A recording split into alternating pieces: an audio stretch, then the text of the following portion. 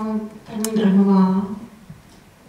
Dobrý den. Eh, já jsem teda také zastupitelka tady z městské části za Zelené a Piráty.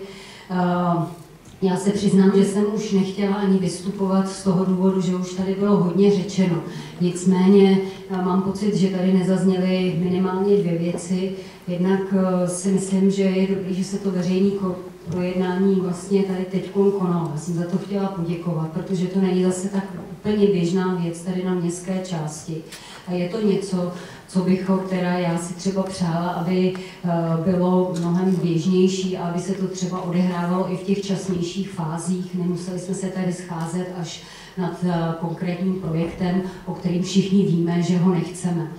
Uh, druhá věc, která mi přijde, že tady zazněla poměrně slabě, uh, my bychom asi teď to, to naštvání na tuhle stavbu měli obrátit nějak jako do budoucna v tom, co vlastně na té městské části chceme a jak se vyborovat těch situací, abychom tady prostě neseděli za půl roku uh, u dalších staveb, které prostě se tady budou chystat. A z tohohle důvodu si myslím, že právě městská část má větší kompetence, než tady tak v podstatě zaznělo. A že eh, bych byla ráda, aby eh, ty, ten apel, který tady byl, jak na pana senátora Lásku nebo pana starostu, fakt jako padnul na nějakou půdu, že bychom se více slyšeli a řekli si, že vlastně ten další rozvoj a další vlastně takové jako ataky, snahy eh, developerů vlastně tady jak si zahušťovat to sídliště, takže eh, bychom měli dát nějaký jasný prostě hlas, nějakou jasný názor městské části, co tady chceme a co nechceme. A to tady vlastně nezaznělo, není tady ani platforma výboru pro územní rozvoj, což je úplně jako běžná věc, která je všude možně v Praze a kde se může nejenom místní politici, ale i místní občané prostě bavit nad konkrétními záměry, plány a tak dále. Čili to bych byla moc ráda, aby prostě jako preventivně vzniklo.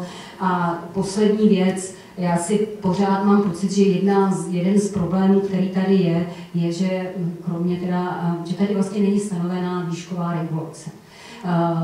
Proto se bavíme, je to stabilizované území, není tady jasně daná výšková regulace.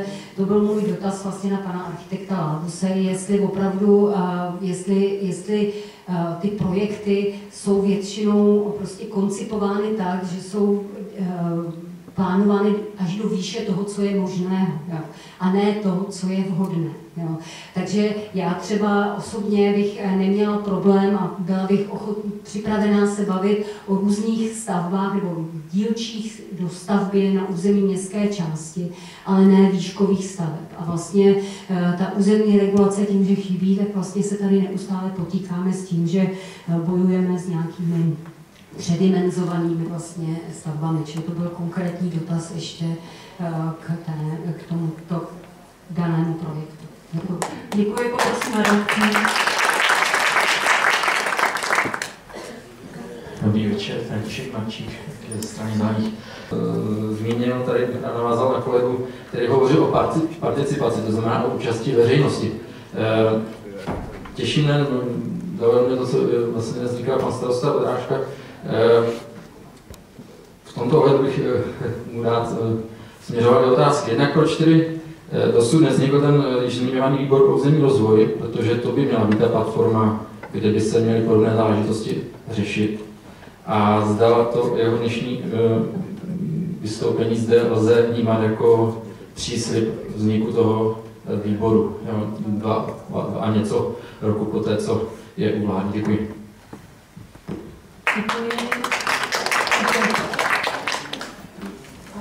Poprosím problematiku benzonu, pan starosta.